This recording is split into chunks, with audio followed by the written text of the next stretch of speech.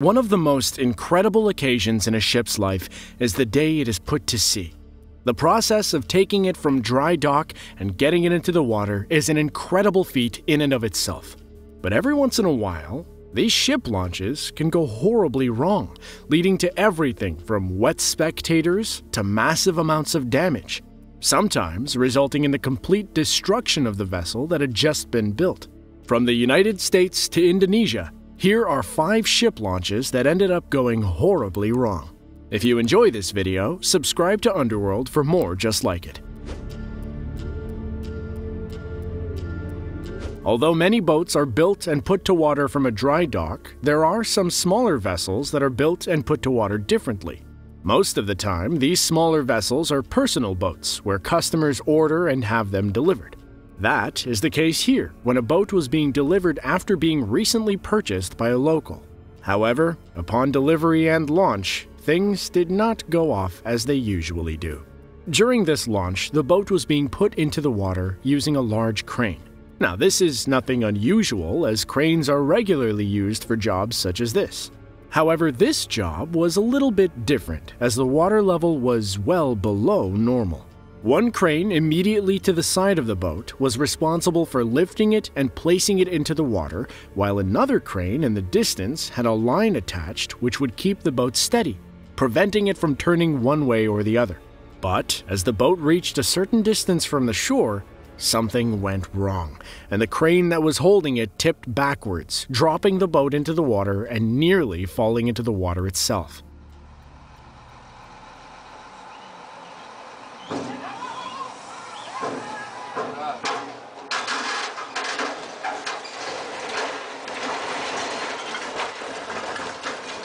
Over,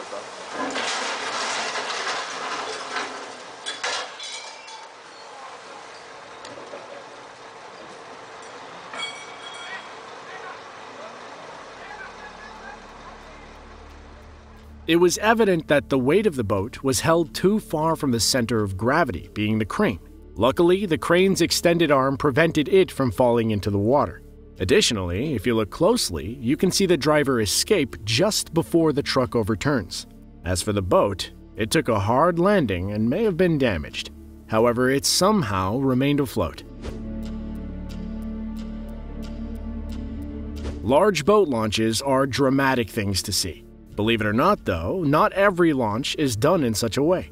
A few places in the world have a totally different way of putting these huge vessels into the water. Large cylinders are placed underneath the ships and then inflated, allowing it to essentially roll into the water. There is a flaw in this process, though. There's little support, and it's possible for the ship to tip onto its side. This is exactly what happened in Jakarta, Indonesia. On this specific day, a shipyard was attempting to launch a Coast Guard vessel by rolling it along the inflatable cylinders into the water. Suddenly, the ship started to list to the side. As the ship continued backwards, the list became worse, until finally, it crashed onto its side with the front part of the ship still on the land.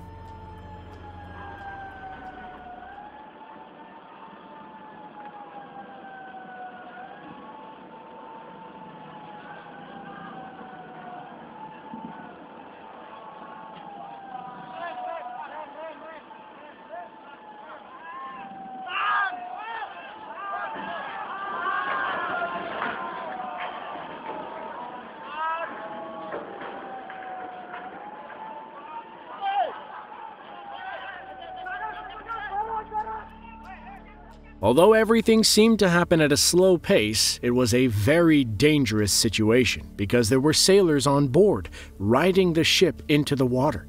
As the ship tilted to its port side, some of the sailors were able to hold on.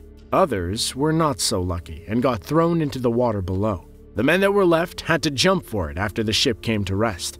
There were a few minor injuries from this incident, but the ship itself ended up being scrapped after the accident. In the grand scheme of things, it's not very spectacular when smaller boats are put in the water. If you really want to see a show, check out the large tankers and cruise ships. These monstrous boats are built on dry land and then launched once they're almost completely built. When these launches happen, it's a pretty big event.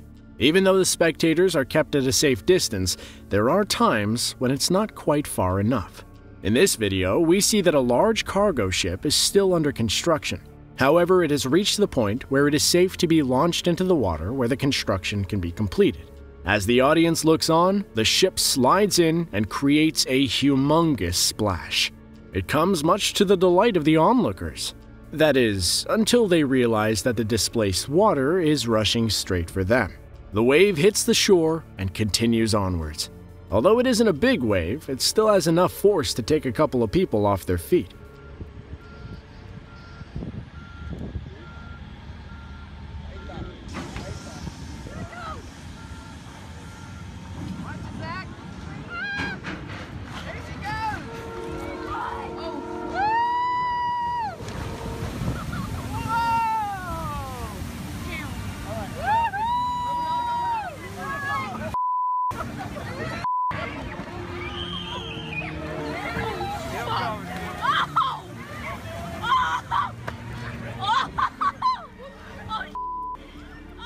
While a few people ended up tripping and falling in.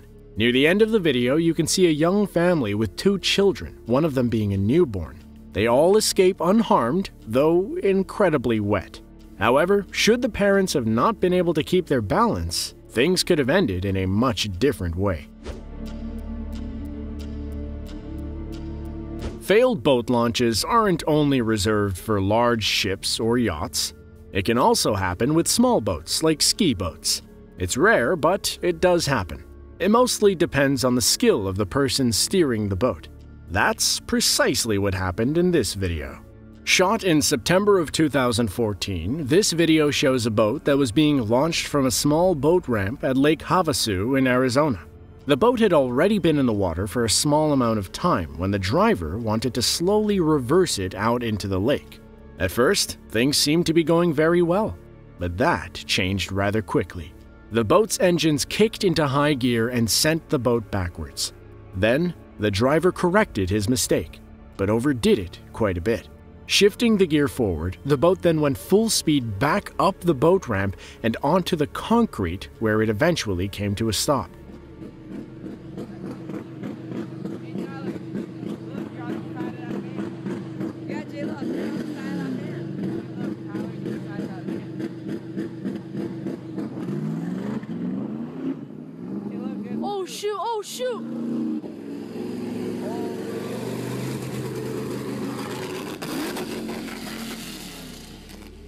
Although it's not known whether or not this accident was due to a malfunction of some sort, the most likely cause is human error. The driver simply did not have much experience operating a boat and, as a result, crashed. Luckily, no one was hurt in this incident. Only the driver's pride.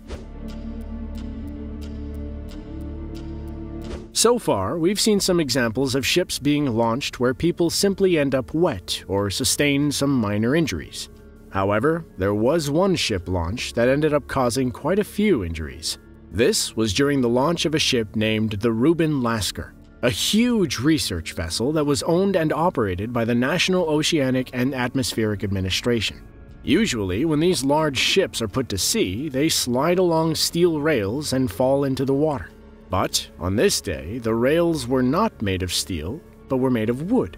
So when the Reuben Lasker slid and hit the water, the wooden rails burst under the enormous pressure, sending a wave of water and huge chunks of sharp wood flying towards the onlookers standing nearby.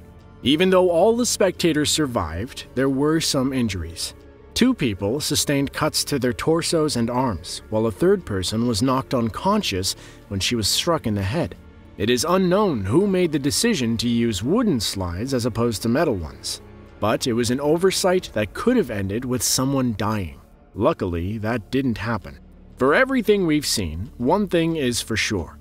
Ship launches have to be precise, no matter how large or small. Even people who are relatively close by should stay very attentive. You never know what could happen. To see another video like this one, be sure to click the link on screen now. With that, thanks for watching, and be sure to tune in next time.